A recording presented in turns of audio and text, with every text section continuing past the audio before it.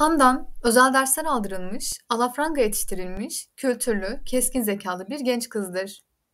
Ona özel ders veren Nazım, 2. Abdülhamit rejimine karşı çıkan Jön Türklerdendir. Nazım, fikir ve mücadele arkadaşı olabileceğini sandığı Handan ile evlenmek ister. Fakat Handan, Nazım'ın ona aşık olmadığını düşündüğü için evlilik teklifini reddeder. Zengin biri olan hariciyeci Hüsnü Paşa da Handan'ı görüp çok etkilenir ve evlenmek ister. Handan bu teklifi kabul eder. Handan ve Hüsnü Paşa Avrupa'ya gidip orada yaşamaya başlarlar. Handan'ın annesinin yeğeni Neriman, Refik Cemal adlı biriyle evlenir. Handan'ın evlilik hayatı pek umduğu gibi gitmez. Hüsnü Paşa ile mutlu olamaz. Zekası, bilgisi ve duygusallığı Hüsnü Paşa'yı aşmaktadır. O sırada Nazım ise Abdülhamit karşıtlığından dolayı Avrupa'ya kaçmak üzereyken yakalanıp hapse atılır.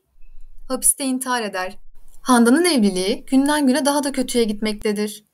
Hüsnü Paşa bu anlaşmazlıktan sıkılıp dışarı hayatına yönelir ve başka kadınlarla yaşar, eve uğramaz olur.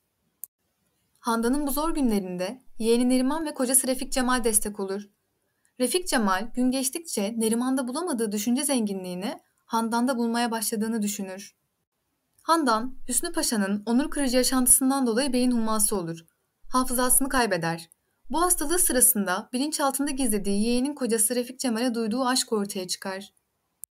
Fakat aklı hala yerine gelmeyen Handan hava değişimi için Cemal'le birlikte İtalya'ya gider. Neriman hamile olduğu için onlara eşlik edemez. Handan bu süre zarfında Refik Cemal'e aşık olmuştur. Fakat kocasına ve Neriman'a ihanet edemez. Yeniden bunalıma girer. Çok acı çeker ve artık buna katlanamayıp vefat eder. İstanbul'a getirilip toprağa verilir. Böylece Handan'ın acılarla dolu ama onurlu yaşamı sona erer.